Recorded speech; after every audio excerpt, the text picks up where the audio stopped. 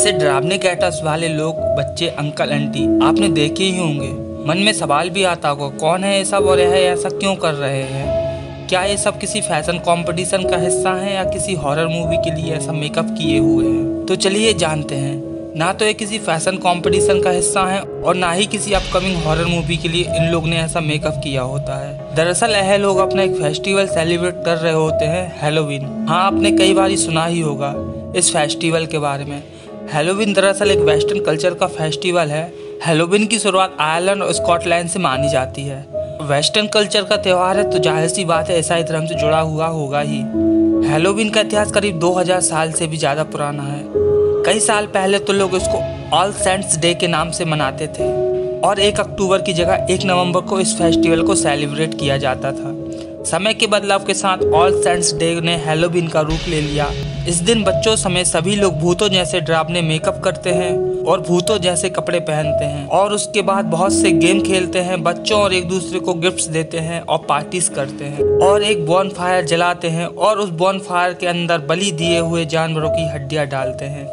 यह सब करने की वजह मृत लोगों और उनकी आत्माओं से जुड़ा हुआ होना है। क्योंकि लोगों का मानना है, इस दिन पर स्वर्ग और नर्क से बहुत सी आत्माएँ पृथ्वी पर आती हैं और लोगों को ऐसा करते देख उनको शांति मिलती है।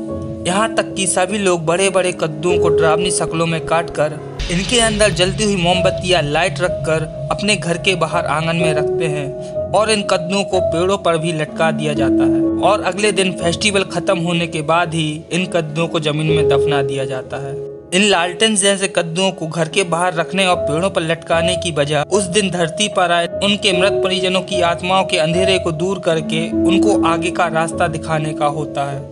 और इस त्योहार के पीछे एक और मशहूर कहानी है, कंजूस जैक की, जिसको ऐसे ही कद्दू के सहारे लालटेन बनानी पड़ी थी। और इस कहानी को लोग जैक और लालटेन के नाम से जानते हैं।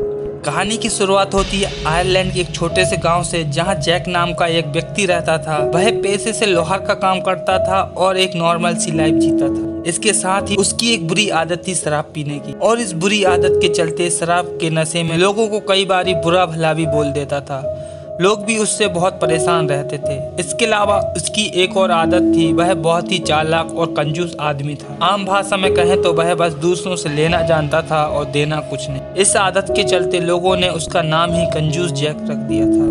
कंजूस जैक एक बार कहीं से अपने गाँव की तरफ़ लौट रहा था, तभी जंगल के रास्ते उसको एक डरावना शैतान दिखाई देता है और जैक उसको देखकर बहुत ही ज़्यादा डर जाता है और मन ही मन सोचता है, यह उसका आखिरी दिन है। इतने में शैतान उससे उसकी आत्मा मांगने लगता है। जैक चालाकी से बोलता है, मेरी आखिरी इच्छा तो जान लो। शैतान भी उसकी बातों में आकर उसकी आखिरी इच्छा पूछ लेता है। तो जैक बोलता है, उसको आखिरी बार शराब पीनी है। शैतान भी बात मान जाता है और दोनों पास में एक शराब के अड्डे पर जाकर शराब पीने लगते हैं। जैक एक के बाद एक बोतल पीता गया। आखिरी बोतल पीने के बाद जैक उस शैतान को बोलता है कि उसके पास इस शराब का बिल देने के पैसे नहीं हैं। क्या तुम एक सोने का सिक्का बन सकते हो ताकि मैं इसे दुकानदार को देकर इस बिल को चुका सकूँ। इस बिल को चुकाने के बाद मैं तुम्हें अपनी आत्मा दे दूँगा। शैतान भी ऐसा करने को तैयार हो जाता है, पर शैतान जैसे ही सिक्का बनता है, जैक अपनी जेब से एक क्रॉस निकालकर उस सिक्के पर रख देता है। और शैतान को इससे बहुत तकलीफ़ होती है और वह जैक से अपने आप को छुड़ाने की विनती करने लगता है। और जैक उस शैतान के सामने शर्त रखता है कि मैं तुमको तभी आज़ाद करूँगा जब तुम दस सालों तक मेरी आत्मा को मुझसे नहीं लोगे। और शैतान जैक की यह बात भी मान लेता है और जैक अपनी लाइफ पहले जैसे गुजारने लगता है। मगर दस साल बीतने के बाद वह शैतान जैक के सामने फिर आ जाता है और जैक से उसकी आत्मा मांगने लगता है। जैक फिर अपनी चाल चलते हुए बोलता है कि मुझे बहुत भूख लगी है, क्या तुम उस पेड़ पे चढ़ के मेरे लिए सेब तोड़ सकते हो?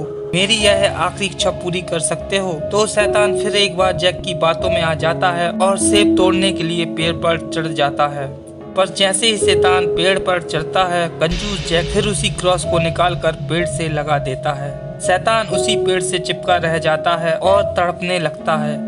फिर जैक से छोड़ने के लिए गुजारिश करता है। जैक फिर से शैतान के सामने शर्त रखता है, तुम मेरी आत्मा कभी नहीं लोगे तो ही मैं तुमको यहाँ से आज़ाद करूँगा। और शैतान के सामने कोई रास्ता ना होते हुए वह जैक की यह बात मान लेता है और जैक क्रॉस को हटाकर शैतान को पेड़ से आज़ाद कर देता है और शैतान वहाँ से गायब हो जाता है।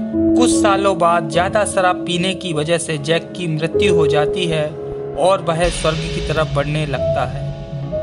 पर स्वर्ग के गेट पर ही उसको रोक दिया जाता है, क्योंकि उसने छल कपट लोगों को गाली देना, बुरा भला बोलना इस सभी गलत कामों के चलते उसने एक पापी का जीवन व्यतीत कर लिया था। इस वजह से उसको स्वर्ग में जाने की इजाज़त नहीं मिलती है।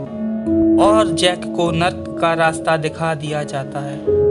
जैसे ही जैक नर्क के गेट पर पहुँचता है, उसको वहाँ वही शैतान मिलता है जो धरती पर उससे उसकी आत्मा मांगने के लिए आता था। और जैक की आत्मा अब उस शैतान के सामने ही थी। जैक जैसे ही नर्क के अंदर घुसने लगता है, वह शैतान उसका रास्ता रोक देता है और बोलता है, तुम अंदर नहीं जा सकते, क्योंकि मैंने तुमसे वादा किया था कि तुम्हारी आत्मा कभी नहीं लूँगा।